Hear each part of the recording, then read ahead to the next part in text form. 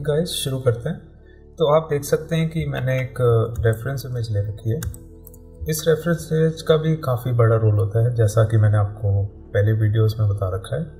तो reference image की आप ओपेसिटी कम रखें तो ही ठीक है, जिससे आपका जो स्ट्रोक आप बना रहे हैं, वो अच्छे से दिखे। तो मैंने यहाँ पे एक पेंसिल की ड्राइंग का फोटोग्राफ लिया और फिर मैंने उसकी ओपेसिटी कम करके लेयर को लॉक कर दिया। अब आप देख सकते हैं कि यहाँ पे काफ़ी सारी लाइंस बनाई है मैंने। इन्हें गाइडलाइंस कहते हैं। और ये लोगों को, लोगो जो रफली मेड होता है, उसको अगर हम डिजिटली बनाते हैं तो अगर स्ट्रेट बनाए तो थोड़ी अच्छी फिनिश आती है लोगों में। तो उसके लिए हम ये गाइडलाइंस बनाते हैं, जिससे जो जो भी आपका मेज़रमेंट आपने रफ ड्राइंग में लिया है, उसको आप डिजिटली अच्छे से बना सकें। तो मैंने ये गाइडलाइंस यहाँ पे बना दी है एक अलग लेयर में बनाई है मैंने, और गाइडलाइन नाम से, और उसको फिर मैंने लॉक कर दिया जिससे ये मूव ना करे ज़्यादा। अब हम एक नई लेयर लेंगे, और उससे फिर हम अपना ड्राइंग बनाना शुरू करेंगे। तो मैं पेन टू लूँगा इसके लिए, और स्ट्रोक को हम थोड़ा सा हैवी रखेंगे। जिससे हमें अपनी लाइंस क्लियरली दिखे। तो हम शुरू करते हैं यहाँ से। अब ये इंटरसेक्शन से शुरू करते हैं। यहाँ तक लेके जाएँगे। फिर, अब हम चाहते हैं कि ये जो लोगो बने, इसका, इसको सिमेट्री भी रखनी पड़ेगी हमें, और ऐसा रखना पड़ेगा कि एक पूरा नहीं बनाएँगे हम, थोड़ा सा इसमें कटआउट्स भी लेंगे। तो हम अपने आप ही मतलब थोड़ा सा देख लेंगे कि क्या क्या लोगों में हम कर सकते हैं क्या क्या सुधार सकते हैं। तो वो हम बीच बीच में देखते रहेंगे। तो अभी हमने यहाँ से स्टार्ट किया है। अब यहाँ तक हम सोचने ले जाएँ, या यहाँ तक हो सकता है सिमेट्री के लिए। तो यहाँ पे हम दूसरा लाइन बना देंगे। अब इधर से हाँ इधर से हम ले सकते हैं। तो ये ऐसे, फिर ये स्ट्रेट फिर ये इसके अलावा। तो ये हमारा एक रफ शेप तैयार हो गया।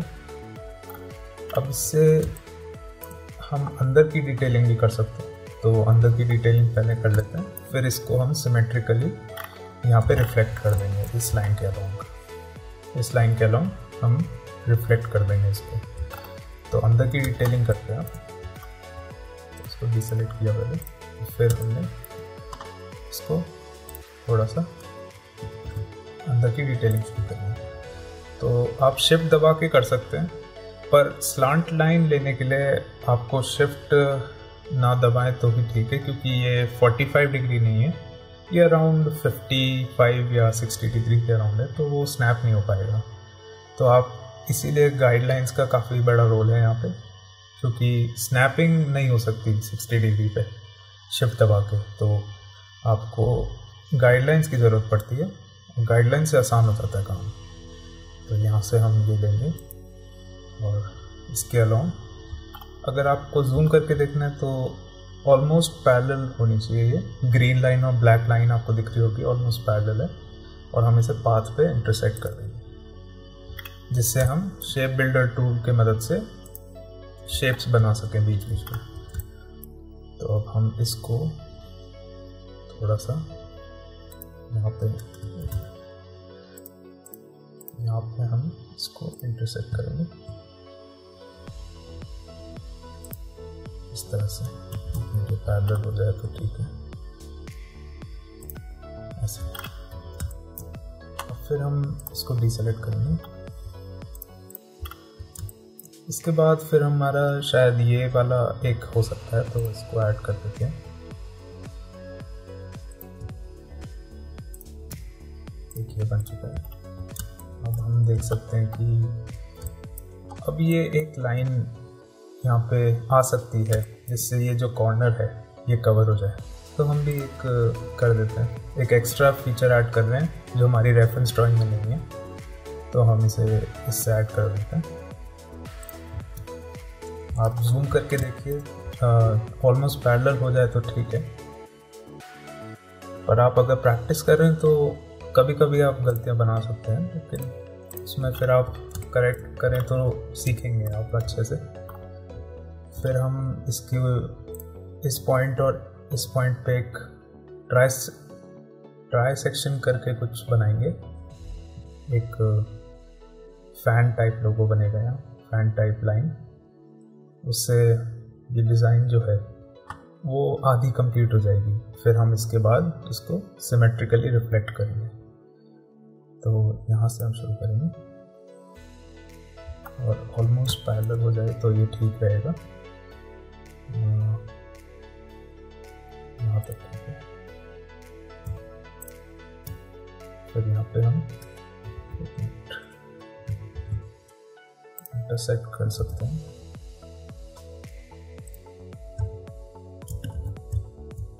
तो आप ऐसे एक्सपेरिमेंट करते रहेंगे तो आपको भी नई चीज़ें पता चलेगी। तो यहाँ पे हमने इसे इंटरसेक्ट कर दिया। और फिर हम इसको यहाँ से ज्वाइन कर देंगे, जिससे ये थोड़ा सा ठीक बने। यहाँ पे यहाँ पे थोड़ा ठीक है हाँ।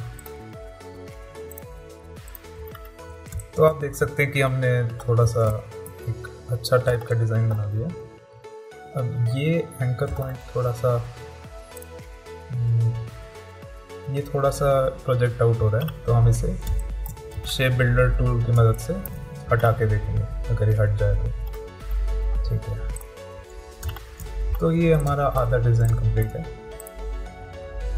ये हमने लेयर थ्री में बनाया था तो इस लेयर थ्री को हम डुप्लीकेट कर देंगे। और लेयर थ्री का जो पुराना वाला था, इसको लॉक कर देंगे। लेयर थ्री का जो कॉपी बनाया, उसको सेलेक्ट किया। राइट क्लिक करके ट्रांसफॉर्म रिफ्लेक्ट हॉरिजॉन्टल एक्सिस के अराउंड हमें इसे रिफ्लेक्ट करना है। तो ये ऐसे रिफ्लेक्ट हो जाएगा।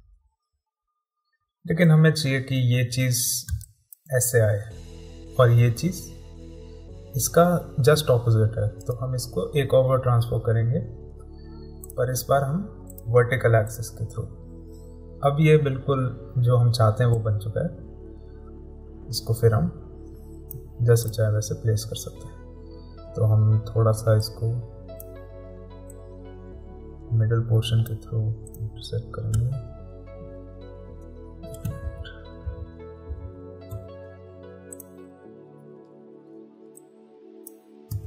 पूरी लेयर थ्री को सेलेक्ट कर दिया।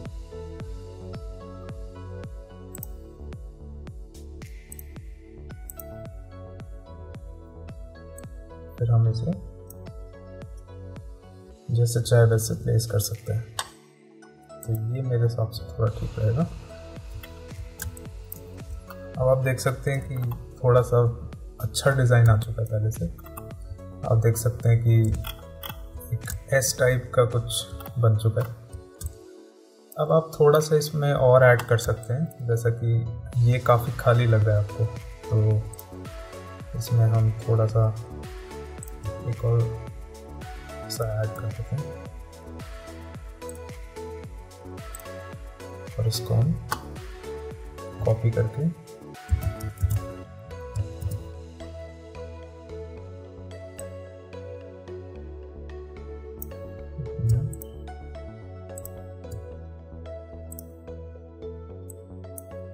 इसको हमने कॉपी किया।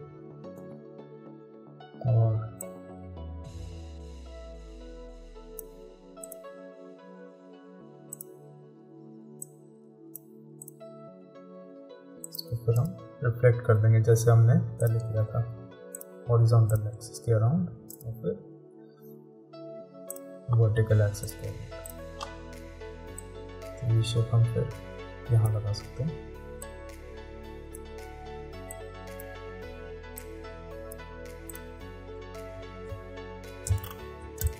अब देखते हैं कि पहले से थोड़ा सा ठीक लग रहा है थोड़ा बारह बारह सा लग रहा है। फिर हम इसको सेव कर देंगे। ये सारी हटा के। तो हमारा ये लोगो तैयार हो चुका है। सिंपल सा लोगो है, कोई ज़्यादा खास चीज़ नहीं है। पर आप देख सकते हैं कि गाइडलाइंस से और एक रेफरेंस इमेज से आप काफ़ी चीज़ें अच्छे से बना सकते हैं और फिर आप उसको अपने हिसाब से फिर एडिट कर सकते हो मॉडिफाई कर सकते हो। तो उससे फिर ये ठीक रहता है। अब इसको हम जो यहाँ पे निकल रहा था ये एज इसको सही करने की कोशिश करेंगे। इस एंकर पॉइंट को मैंने सेलेक्ट किया।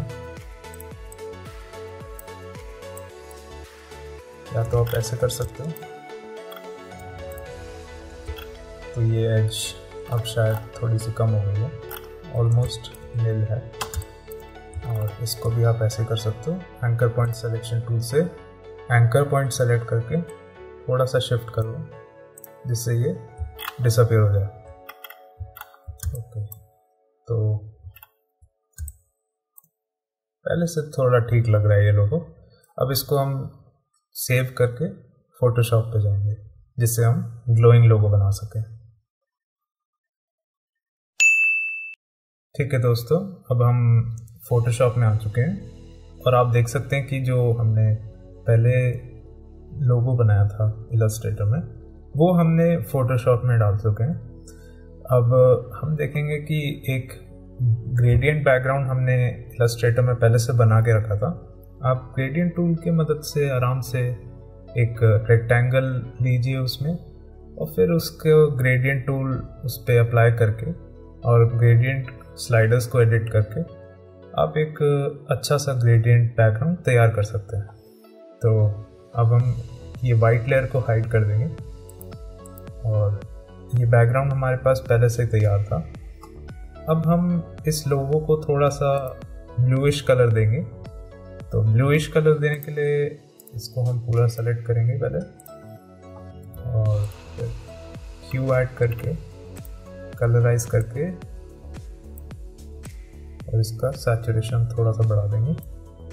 फिर हम थोड़ा सा स्लाइडर उस हिसाब से वो करेंगे एडजस्ट जिससे आपको जो कलर चाहिए वो यहाँ रख सकते हैं मैं थोड़ा सा यहाँ बैकग्राउंड से मैचिंग कलर ले रहा हूँ।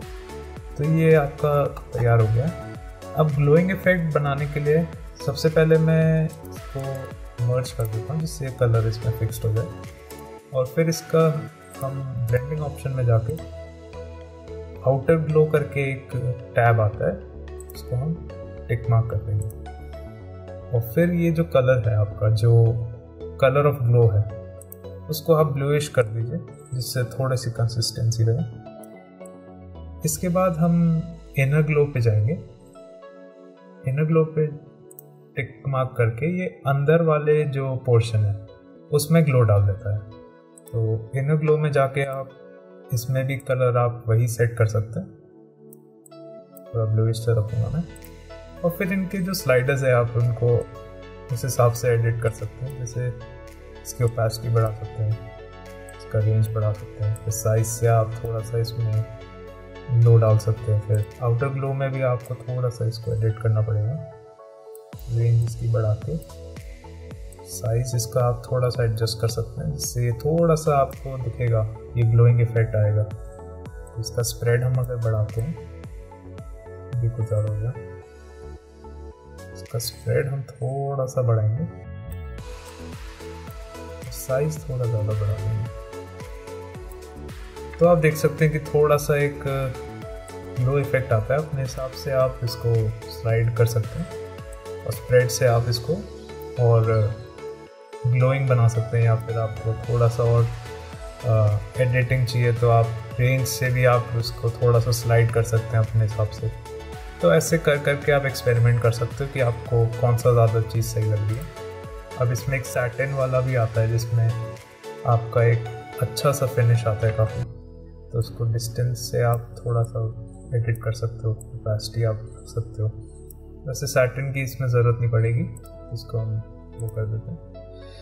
अब इसमें और भी ज़्यादा आप एडिट कर सकते हैं चीज़ें। तो हम इसमें और देखते हैं कि क्या क्या एडिट हो सकता है।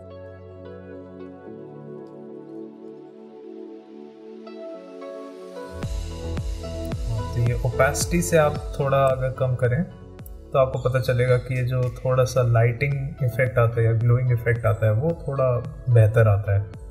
तो आउटर ग्लो में ओपेसिटी स्प्रेड साइज़ और रेंज ये चारों काफ़ी इंपॉर्टेंट है। तो आप अपने हिसाब से जो भी चाहते हैं, उसके हिसाब से आप इसको बना सकते हैं। तो आप देखते हैं कि ये ट्यूटोरियल थोड़ा सा ग्लोइंग के ऊपर था। पहले हमने लोगो बनाया इसका और फिर हमने फोटोशॉप में इसे ग्लोइंग एडिट दिया अब आप चाहते हैं तो इसको ब्लू कलर के अलावा कोई और कलर कर सकते हैं ब्लू एंड मिक्सचर में जाके। तो हम एक थोड़ा सा क्रिमसन सा कलर देंगे इसे। ये थोड़ा बेहतर लग रहा है। और आप चाहे तो इसका बैकग्राउंड को भी थोड़ा सा एडजस्ट कर सकते हैं। ये बेहतर है। तो आपने देखा कि कितना आसान है फोटोशॉप और इलास्ट्रेटर के कॉम्बिनेशन से आप एक बेहतर लोगो बना सकते हैं और ग्लोइंग इफ़ेक्ट भी डाल सकते हैं उसमें। तो धन्यवाद गाइस पूरी वीडियो एंड तक देखने के लिए। सब्सक्राइब कीजिए चैनल को जिससे आपको नेक्स्ट ट्यूटोरियल का भी नोटिफिकेशन आए। और लाइक कीजिए इस वीडियो को जिससे ये यूट्यूब एल्गोरिदम इसको थोड़ा सा और रेकमेंड करे लोगों को। तो आप ऐसी वीडियोस देखते रहिए और चैनल को सब्सक्राइब करें और दूसरों के साथ शेयर करें। तो इसी के साथ हम ये वीडियो एंड करते हैं। नमस्ते।